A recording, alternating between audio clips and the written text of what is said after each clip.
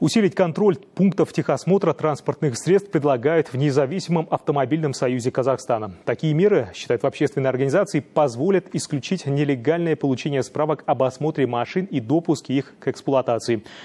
Никому не секрет, что в последнее время пройти техосмотр можно даже не выходя из дома. При этом разрешительные документы могут выдать в любой сервисной компании. Проблему изучила Жанна Тайтенова.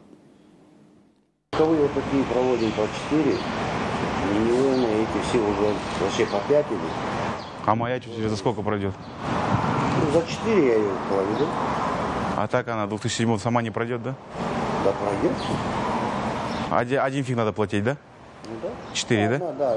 Вот так просто, даже не заглядывая под капот авто, в городе проводят техосмотр практически на каждом СТО. С тех пор, как эта функция была передана в конкурентную среду, на рынке появилось немало точек, где водителям предлагают пройти технический осмотр без как таковой диагностики транспортного средства. Потенциальные клиенты таких нелегальных точек в основном владельцы подержанных машин. Они, как правило, не уверены в исправности транспорта, а в последние несколько лет, благодаря развитию технологий, подобную услугу можно заказать даже через соцсети, не выезжая из собственного гаража. Водители просто фотографируют своих железных коней и отправляют представителям компании. Через несколько часов Документ готов.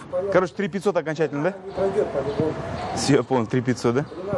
Тогда не будут заезжать. Специалисты одной из первых станций технического обслуживания Алматы считают, что такой способ проверки может представлять опасность для водителя и участников дорожного движения. В администрации СТО заверили, что прохождение досконального осмотра машины отнимает не больше 20-30 минут. Зато автолюбитель сможет узнать, что именно нужно заменить или починить. Собирает деньги себе в карман, значит, и в казну у нас в виде налогов ничего не поступает. Конечно, процесс прохождения технического осмотра э, надо предупредить водителей. Он не такой уж сложный. Где-то в пределах там, значит, 20-30 э, минут.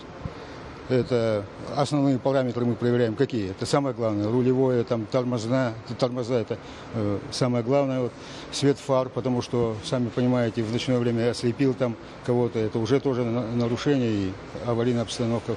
На подобных станциях нет специального оборудования, которое стоит десятки миллионов тенге. Поэтому говорить о полноценной диагностике не приходится, сетует глава Автомобильного союза Эдуард Эдоков. Он считает, что деятельность дилетантов важно и нужно пресекать, организовывать проверки, штрафовать и даже приостанавливать работу СТО, которые делают левые техосмотры. Однако такие меры могут стать палкой о двух концах, считает он. Если мы начнем репрессии такие, да, то э, у проверяющих органов появится э, такая дубинка, да, с помощью которой можно запугивать и, и совершенно нормальные СТО. Поэтому здесь нужно обязательно смотреть, может быть, каким-то э, и да, с привлечением там, общественных организаций, да, чтобы увеличить достоверность и правильность этих проверок, честность их, потому что э, все знают, что наши проверки контролирующие проверяющие организации приходят, закрывают глаза за определенную плату, да, и э, ничего не меняется. Вот, вот эта проблема, это другая сторона проблемы. Провести технический осмотр автомобиля очень важно в первую очередь для самого водителя и членов его семьи. Ведь каждый автолюбитель должен быть уверен, что его железный конь не подведет на большой дороге. Жанна Татенова, Арсен Сандыбаев, телеканал Алматы.